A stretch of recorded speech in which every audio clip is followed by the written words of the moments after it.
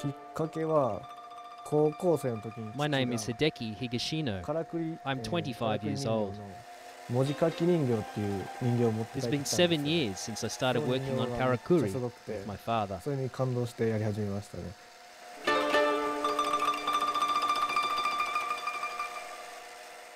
えーやっぱり日本の伝統技術です Karakuri ね is Japan's tradition itself, 全部が and 詰 it ま is a 全 crystallization of Japan's technology.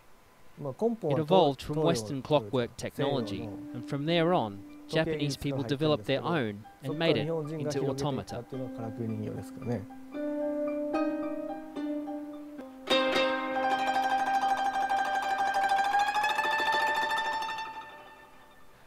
今からだいたい2,300年前 It で is about 200 or 江戸時代 300 years old. その江戸の初期 The の craftsmen of the 皆さん Edo period たちが wanted to 自 show 分が off これ their だけのものを skills, 作れるんだ and that is why they という made こと the を人 karakuri. に知らせますよね People would be So- so- impressed so- and think that that shop must be amazing.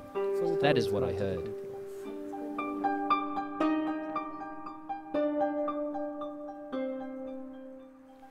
やっぱからくりの魅力っていうのは What fascinates me about karakuri is that it has the power to astonish and move people with its motion that uses minimal amounts of energy.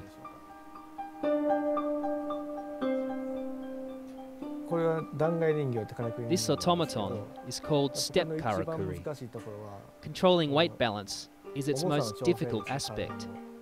If it is a fraction too light, it will not go down. If it is too heavy, it will go down too fast or fall over. It is difficult but when they succeed, it makes me extremely happy. Just like this, if it flips over beautifully like that, I feel happy.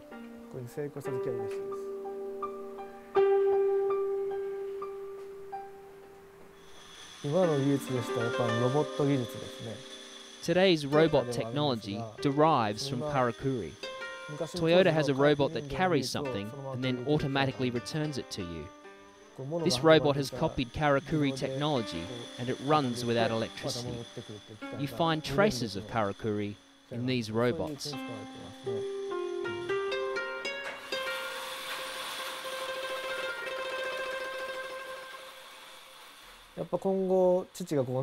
I do not want to lose what my father has left for me. I'm going to start collecting too, and I will be letting the next generation know that in the past there used to be something like this.